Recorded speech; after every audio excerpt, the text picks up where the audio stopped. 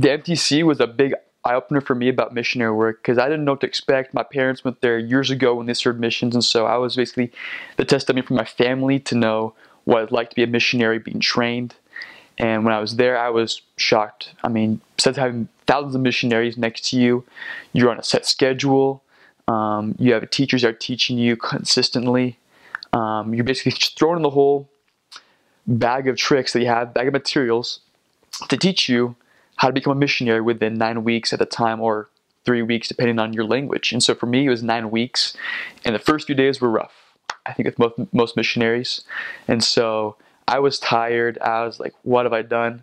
But as time goes on, Lord does bless you. And so I got used to the schedule, being up at certain time, having exercise, studying, and speaking the native language of um, Spanish so I could prepare myself when I go to the field. And so that was kind of showing to me that, okay, missionary work is going to get tougher from here. This is just the preparation. I knew that two years is going to wear me out, but I knew if I was diligent in the work, then I would definitely be blessed by the Lord if I follow Him.